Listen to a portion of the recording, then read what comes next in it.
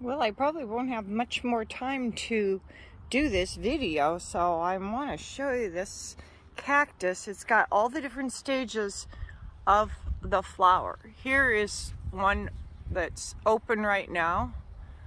The bees are enjoying it. They get all the nectar out of there. Um, and there's a lot of nectar in there.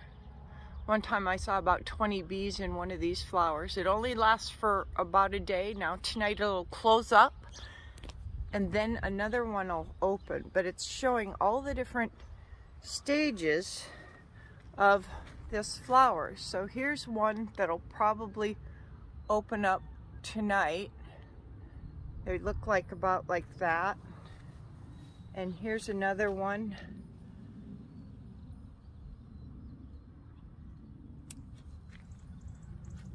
and there are a few more here so we will have some more blooms. I also saw a hummingbird on this one.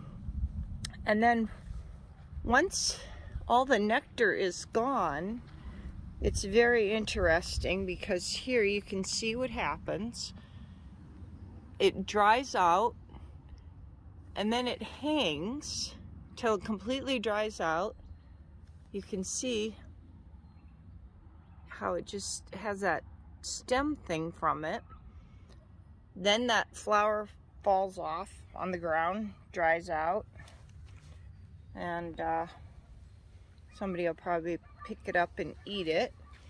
And then these little nodules, I think, turn into a new, um, you know, a new growth for the cactus. And then you can see down here, I'll try to get in there. There's another one, that dark piece, that's all dried out.